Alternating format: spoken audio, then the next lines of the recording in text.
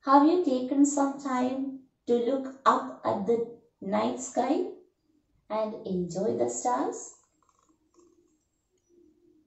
Can you really blame the Greeks for looking up at the sky and seeing shapes of lions and hunters in the sky?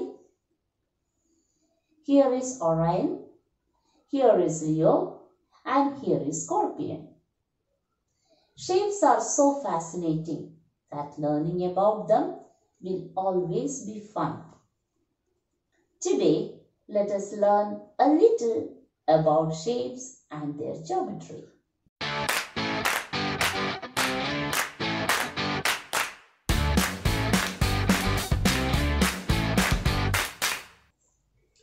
When the ancient Greeks connected the dots that stars made in the sky, they got lines and shapes.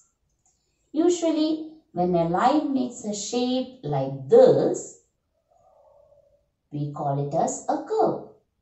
But mathematically, even a straight line like this is also called a curve. Curves come in different types. If a curve does not cut itself at any point, it is called an open curve. This, this and this are all open curves. If a curve cut itself, it is called a closed curve. Let us consider this shape. All these points that lie inside the curve are called interior points. These points that lies outside the curve are called exterior points. These points on the boundary are called boundary point. The interior points along with the boundary is called the region of the curve. Let us go back to our starry sky. If you can make a closed shape by connecting each star using a straight line segment, the shape you get is called a polygon. But not all the shapes are polygons. For a shape to be a polygon, the line segment intersect only at the end points. Each end point is shared by only two line segments. So, let us do a quick test. Which among these shapes are polygons? This is a polygon. This shape is not a polygon as the shape is not a closed figure. This is not a polygon either as this point is shared by more than two line segments. The segment which make up the polygon are called the sides of the polygon. The end point of each segment is called a vertex. Now tell me, is this shape same as this shape? No. This shape has three sides and this shape has four sides. Based on number of side or number of vertices, we give different name to each shape. Shape with the three side is called a triangle, four side is called a quadrilateral, five sides pentagon, six side hexagon and so on. Let us look more closely at these shapes now. We see that some angle is formed at vertex. In this shape, if we look, none of the angle is more than 180 degree. If each angle is less than 180 degree, the polygon is called a convex polygon.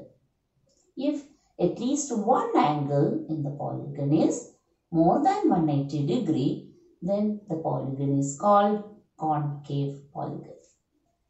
If we take any two points that are not consecutive and join them with a straight line, that line is called a diagonal. So, in this quadrilateral, we can draw two diagonal. Okay, we have given too many names here now. Let us try to learn something different. One question that you will face a number of times either in your exam or while solving some problem would be to find the sum of angles of a polygon. Let us start with the simplest polygon, a triangle. We all know sum of angles in a triangle is 180 degree. So we can say that sum of interior angle of a triangle are 180. Let us take a step higher now. If we add two triangles, we get a quadrilateral. So, if the sum of angle of a triangle is 180, then sum of angle of a quadrilateral made by two triangle. That will be 2 into 180 is 360 degree. Now, if we add one more triangle to this shape, what shape do we end up with?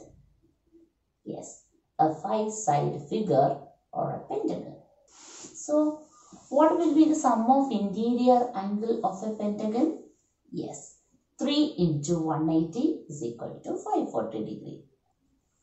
Here we see a pattern, don't we? A four-sided quadrilateral contains 4 minus 2 in that is equal to 2 triangles. A five-sided pentagon contains 5 minus 2 is equal to 3 triangle. So, if we have a polygon with n sides, it will have n minus 2 triangles and sum of angles for n minus 2 triangle will be n minus 2 into 180. I hope this will help you to remember the sum of interior angle of any polygon. Sum of interior angle of a polygon will be with n side will be n minus 2 into 180.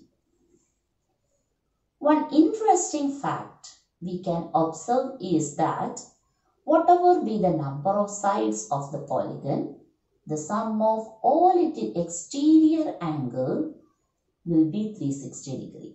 So, a square or a hexagon or a decagon, all shape will have the sum of its exterior angle equal to 360 degree. So in this way, shapes continue to amuse me. We will soon learn more interesting fact about shapes and also learn to appreciate more fascinating maths around us. Till then, happy learning.